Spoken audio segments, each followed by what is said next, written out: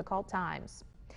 Back here at home, Wheeling police say 66-year-old Wesley David McConnell is facing a criminal charge after an indecent exposure incident last month. On June 28th, police say they were called to Wheeling Park Pool for a report of a man exposing himself to multiple people.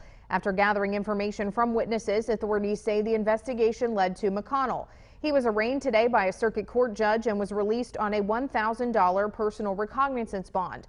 A bond condition was also ordered by the court that McConnell have no contact with any minors. Looking across the mountains.